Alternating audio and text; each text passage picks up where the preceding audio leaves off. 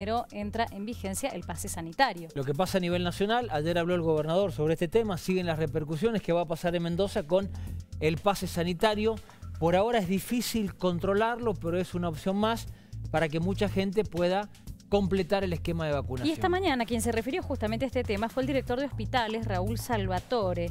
Entre otras cosas, eh, remarcó que la prioridad está enfocada en la vacunación antes de enfocarse en el pase sanitario. Vamos a escuchar al director de hospitales hablando esta mañana en conferencia de prensa.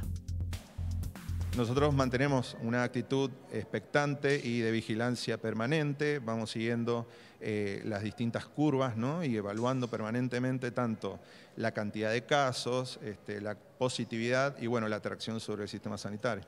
Pase sanitario es, una estrategia, eh, ayer fue muy claro el gobernador, nosotros eh, vamos a, evaluar la situación, no es la única, no es el único, la única medida, eh, nosotros tenemos que hacer mucho hincapié en la estrategia principal que estamos teniendo en este momento, que es la vacunación.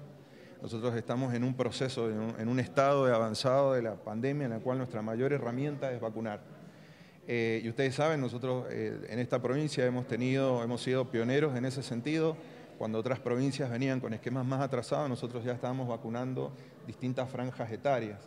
Eh, nuestra mayor fortaleza es nuestro trabajo en terreno y justamente reforzar nuestras estrategias de vacunación.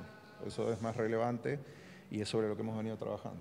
Todas las estrategias son evaluables de posibilidad de llevar adelante o no. Como dije, nosotros el sistema sanitario, lo más relevante que ha podido lograr y ha podido mostrar en estos años que ha sido tomado a prueba, que ha sido puesto a prueba, es su plasticidad, es la posibilidad de poder reconfigurarse para dar la mejor respuesta posible según el momento eh, que estaba transitando.